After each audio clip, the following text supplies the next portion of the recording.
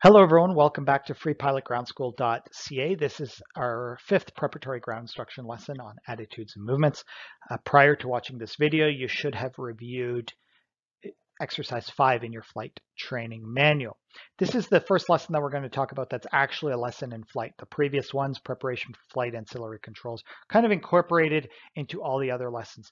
Uh, but this is the first one where your instructor is really going to take you out and say, okay, this is what we're doing today. We're going to learn all about attitudes and movements. So let's get started.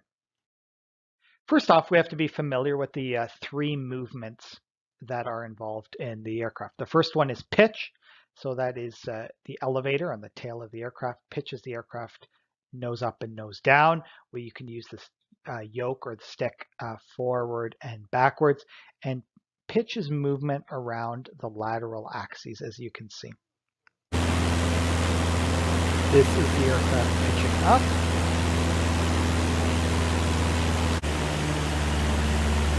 And this is the aircraft pitching down.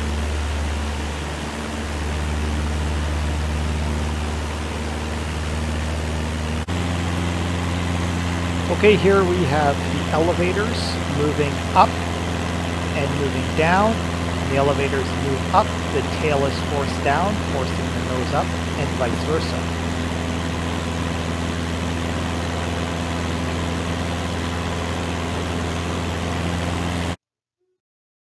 Our second movement is roll. We use the ailerons to roll. Uh, that is accomplished by having the yoke or the stick moving it left or right. It's movement about the longitudinal, longitudinal axes. Here the aircraft is rolling to the left and to the right. You can see the ailerons on the wingtips moving the wings up and down, forcing the aircraft to roll.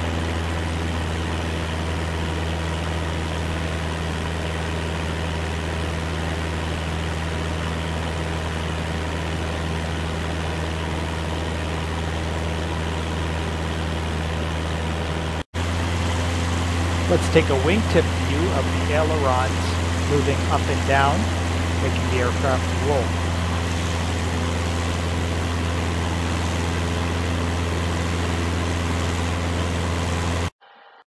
The third movement we have is yaw. The uh, rudder on the tail of the aircraft makes the aircraft yaw, and we use these rudder pedals. Moves uh, left and right around the normal or vertical axes and makes the aircraft yaw.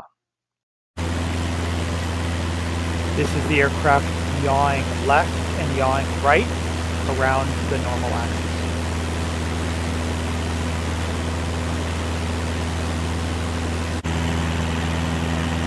Look at the rudder deflecting left and deflecting right, forcing the tail left and right, and therefore the nose left and right.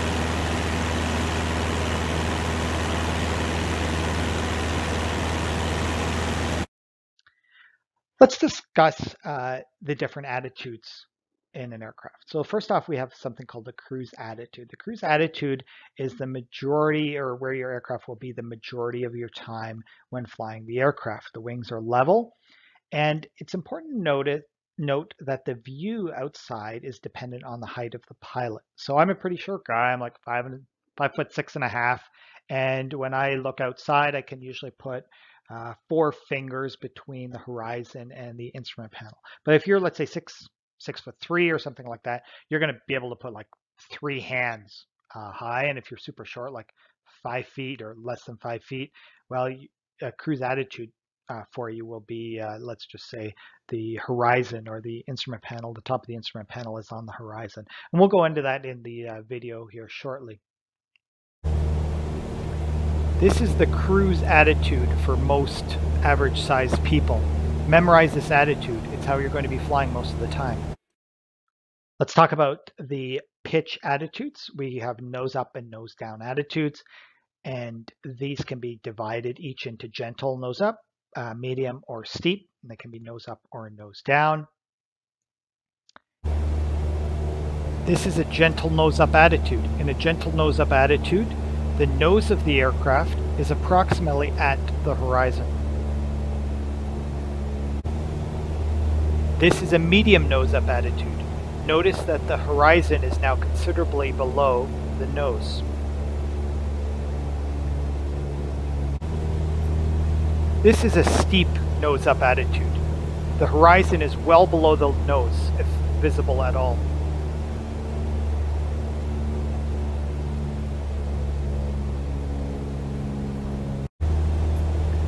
This is a gentle nose down attitude.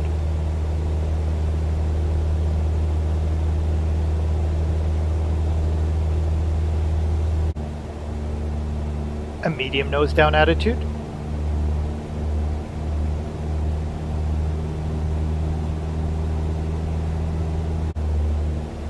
And a steep nose down attitude.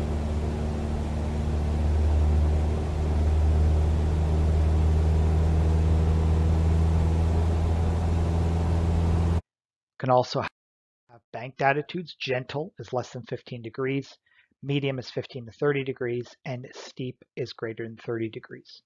A precision steep turn uh, is typically 45 degrees. So let's watch a video uh, on how these different attitudes look like. And keep in mind, it's not exact. This will be different for every pilot based on the aircraft that they fly and how high they are. So let's uh, see just kind of an example of how these different attitudes look like.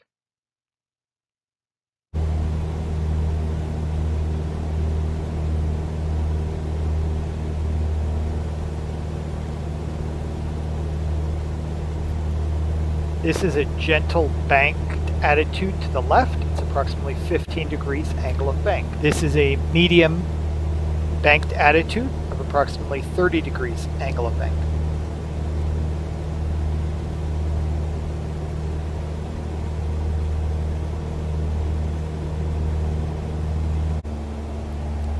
And finally, a steeped banked attitude of 45 degrees angle of bank.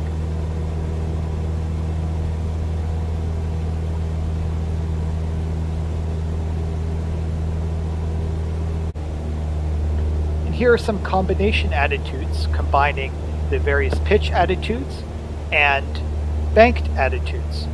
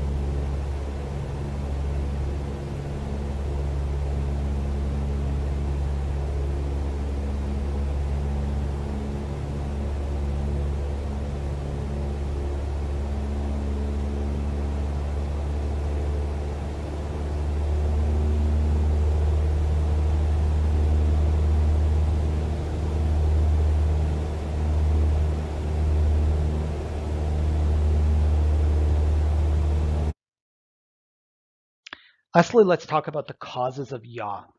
Uh, causes of yaw, this is assuming other than you actually yawing the aircraft with the rudder pedals, can be caused by power changes. So adding uh, power, uh, adding throttle will increase or decrease the slipstream and torque on the airframe and uh, will change the yaw. Aileron input uh, may uh, cause yaw, side slip, or turbulence. And if we don't correct for yaw, we can end up in a roll. So we want to make sure that we control yaw with our rudder pedals. And your instructor will demonstrate this to you in flight. Let's talk about a, a, safety item, the transfer of control. So this is uh, likely your first lesson. You're going to be going flying uh, very shortly. It's very important that you understand who is flying the aircraft. So even though there are two controls, only one person can be flying the aircraft at a time. You can't be fighting uh, over who has flying the aircraft. So we say, I have control and you have control and then the opposite. So if your instructor says, I have control, you just say you have control and you let go of the uh, controls. What is not acceptable is that both people fly the aircraft. So uh, what should not be happening is you flying the airplane and your instructor kind of helping you out and pulling on the controls. If, if you're doing something wrong and you can't land the airplane, that's fine. But then the instructor will be taking control from you and you just let go and let the instructor land or do whatever needs to be done. Let's review uh, the three movements, our pitch, roll, and yaw. We have four uh, attitudes, uh, cruise and gentle, medium, and steep, and, and all of these can be either nose up or nose down. And we want to control the yaw with rudder. That concludes this lesson on attitudes and movements. Uh, thanks for joining me, and we'll see you in our next lesson on straight and level flight.